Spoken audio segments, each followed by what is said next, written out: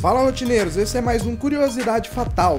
E antes de começar o vídeo, já peço que vocês se inscrevam no canal, deixem um like aqui no vídeo e vamos para a notícia de hoje. No norte da Califórnia, nos Estados Unidos, uma equipe de turismo levou algumas pessoas para poder observar baleias em alto mar. O tempo estava meio nublado, mas a água estava bem tranquila. Tempo perfeito para ver os gigantes do oceano. Foi aí que então, após a dica de um barco pesqueiro sobre um grupo de baleias orcas que estavam por perto, a equipe avistou essas baleias. O fotógrafo Slater Moore pegou seu drone e começou a filmar, mas ele com certeza não esperava pela cena que iria ver.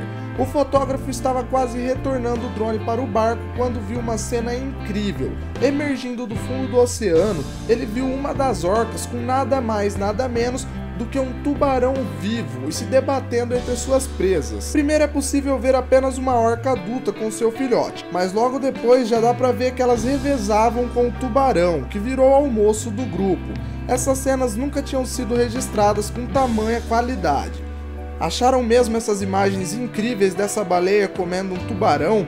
Eu quero saber a sua opinião nos comentários do vídeo, mas antes já peço que se inscrevam no canal, deixem um like no vídeo e eu vejo vocês a qualquer hora em uma próxima curiosidade fatal. Fui!